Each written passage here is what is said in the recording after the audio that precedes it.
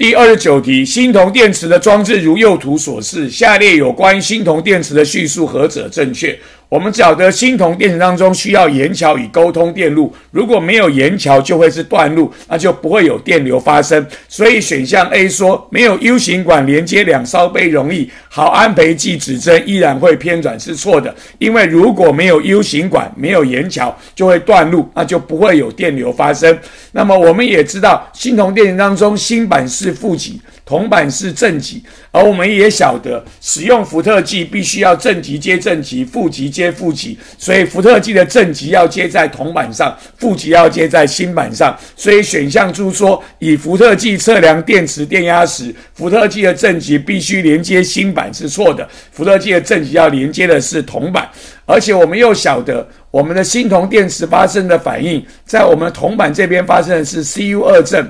加二一负。会生成 Cu，因为会产生铜，铜板这里会生成铜，所以它的质量会增加，而这里的铜离子会减少，铜离子是蓝色的，所以铜离子减少就会使蓝色变淡变浅，所以选项 C 说硫酸铜溶液的颜色会逐渐变深是错的，应该逐渐变浅，所以我们只有答案是 B 才是对的，所以第二十九题问我们。有关于系统的叙用电池的叙述何者正确？我们答案呢选的是 B。电池放电一段时间后，铜板的质量会增加。